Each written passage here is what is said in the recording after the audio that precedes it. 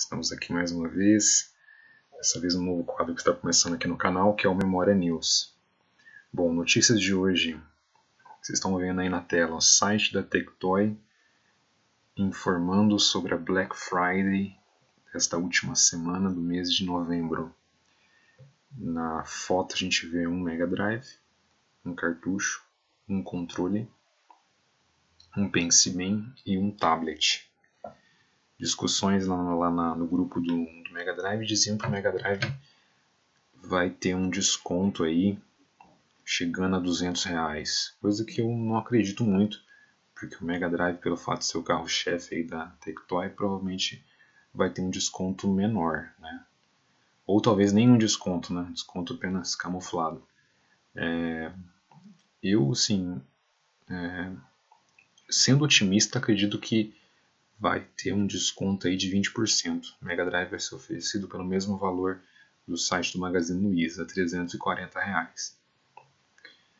À vista, né? E aí descontos para compra de acessórios.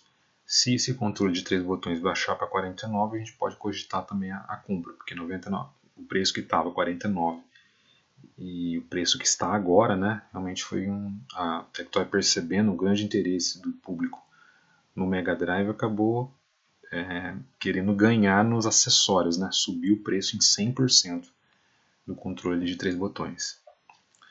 É isso aí.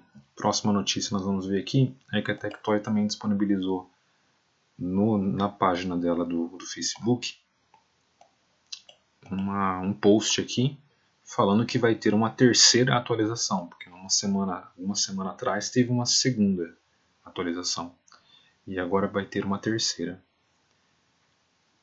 Mas o questionamento é o seguinte: será uma será uma atualização que vai permitir save? Será que uma atualização que vai permitir a retrocompatibilidade com jogos de Master System? Será a liberação de algum acessório? Então, vamos ficar na expectativa. Comentem o que vocês acharam dessas novidades, se inscreva no canal e deixe seu like.